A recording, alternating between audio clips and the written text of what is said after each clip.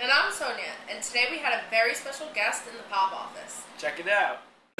So my name is Alfredo, and I, um, I I'm a videographer. I'm an editor, and I'm also a music video director. And uh, we've been on been on tour for like the last year with Justin on this My World tour, and you know put together uh, a lot of footage for the for the movie, a lot of viral videos, and and put together all the videos for Pop, all your Schools for All video. We did we did a couple videos with, with Dan, Kenny, and Ryan that that will be coming out soon. I, I did a video with myself, and um, and uh, yeah, that's me. Promise, we have a tradition. When someone comes in the office, we hold a lunch and learn session.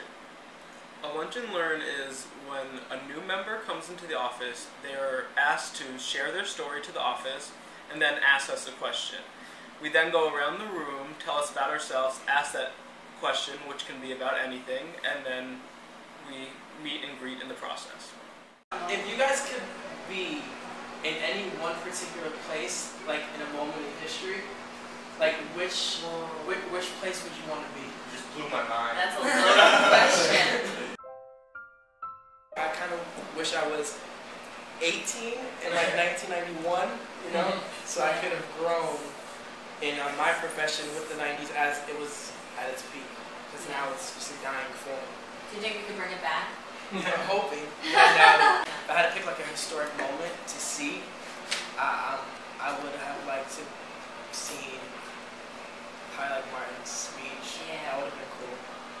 Or, Yeah. You know, or like the Titanic sailing. Oh, That is a good one. tight. That is a good We one. watched it from the iceberg though. Like by yeah, 1912, just to see the Titanic. That's a like, good you know, one. that would have been to actually be there. That would be cool.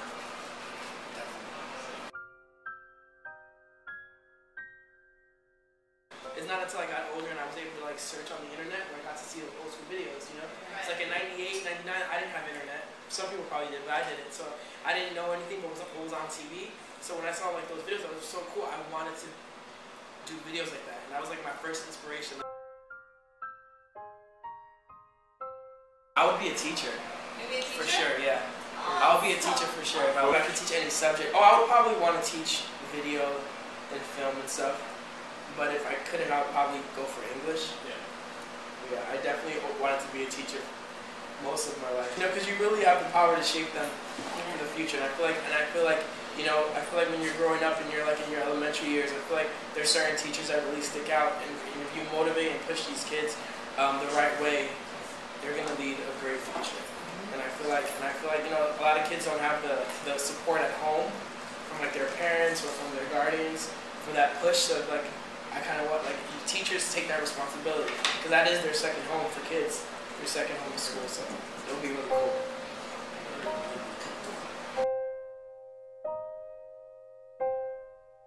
To see Adam talk about Pencils of Promise and want to build Promise, and now I see, and he's like 30 schools in, and he has offices, and, and it's just this whole big thing. It's it's it's crazy.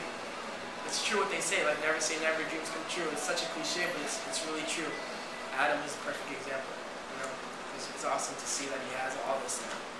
Yeah, it's cool. It's super cool. And I want to go to these schools. So like, I want to go with Adam. Uh, we've been talking about it. Obviously, we've been on, I've been busy on tour, but I want to go with Adam and, and do a, a video out there with these kids and, and stuff. Because I wanted to be a teacher my whole life. This organization is like so awesome to me. You know, I love this organization. So I, I, I can't wait. Hopefully, we'll make it happen. Like uh, we were talking about this fall, maybe. So that'll be a really cool, interesting kind of concept video. Because Would Of you have any course. preference of where to go? Laos, Nicaragua, or Guatemala? Nope. No? I love to go. I love to go everywhere. I think it's amazing. That's sick. The experience is just like like what it would be for Pencils of Promise, just to see mm-hmm. the kids and meet them and see the school and see them work. It's like those things that like dreams are made of. Like you know, to see that actually be there. Do you make- There's so many people who don't know about pop and like Exactly. know about kids that know what school and what one. I know you guys know the story of Adam about Adam giving the pencil, like you know that whole thing, but it's an incredible story, you know, and that's a story that'll live on forever, even past past all of us. Like a hundred years from now, when Pencils of Promise is doing crazy things, you know. So it's, it's just such it's really cool. It's